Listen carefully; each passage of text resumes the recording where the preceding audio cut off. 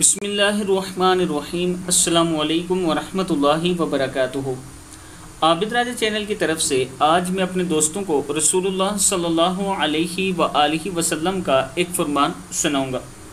اس سے پہلے میں اپنے دوستوں کے ساتھ ایک بزرگ کی ویڈیو شیئر کر رہا ہوں۔ دوستو، آپ دوستوں نے راشن کے لیے مجھے پیسے بھیجے تھے جو میں نے لوگوں میں تقسیم کیے اور الحمدللہ جو بزرگ اور معذور لوگ تھے ان کے گھروں میں جا کے میں نے وہ پیسے تقسیم کیے۔ اسی دوران میں ایک گھر میں گیا جس میں یہ بزرگ مجھے نظر آئے۔ یہ آپ دوستوں کے لیے دعا کر رہے ہیں لیکن ان کو فالج ہو چکا ہے۔ ان کی آواز بہت کم آتی ہے اور سمجھ کم آتی ہے۔ دوستو ان کا مسئلہ یہ ہے کہ یہ چار بھائی تھے جن میں سے دو کینسر کی وجہ سے فوت ہو چکے ہیں اور دو فالج کے مریض چار پائی پر ہیں۔ ان کے گھر میں کوئی کمانے والا نہیں۔ اور اس سے بڑی بات یہ ہے کہ ان کی ایک بابی ایسی ہے جو بیوہ ہے اس کے پاس گھر ہی نہیں رہنے کے لیے۔ الحمدللہ، میں نے ان سے وعدہ کیا کہ میں آپ کی بابی کو گھر بنوا کے دوں گا، تو انہوں نے بڑی دعائیں کی اور خاص طور پر میں نے آپ دوستوں کے لیے دعا کروائی ہے۔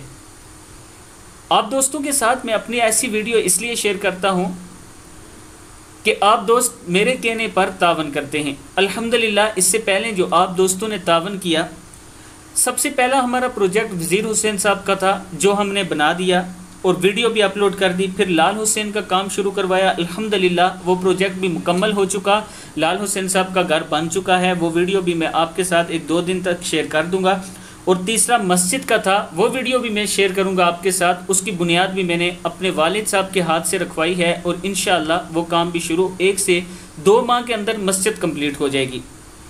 اور اب یہ کام شروع کرنا ہے۔ یہ یتیم بچے ہیں۔ اور بیوہ عورت ہے۔ ان کے گھر میں کوئی کمانے والا نہیں ہے۔ عید کے لیے ان تمام بھائیوں کی میں نے مدد کی ہے۔ ان کے گھر میں جتنی فیملیاں تھیں، ان کی میں نے مدد کی ہے اور یہ آپ دوستوں کی وجہ سے ہوئی ہے۔ اب ان کا ہم نے گھر شروع کرنا ہے۔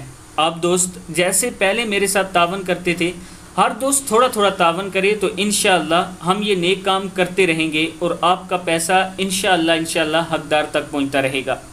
یہ میرا واٹس اپ نمبر، ایزی پیسہ اور جیز کیش بھی اسی پر موجود ہے، آپ دوست دیکھ سکتے ہیں۔ یہ میرا واٹس اپ نمبر ہے۔ آپ دوست مجھ سے اس پر مکمل ڈیٹیل لے سکتے ہیں۔ تو شروع کرتے ہیں۔ بسم اللہ الرحمن الرحیم۔ اللہ تعالیٰ کس کو پسند فرماتے ہیں؟ حضرت ابو حریرہ رضی اللہ تعالیٰ عنہ فرماتے ہیں کہ نبی اکرم صلی اللہ علیہ وآلہ وسلم نے ارشاد فرمایا، اللہ کے ننانوے نام ہیں۔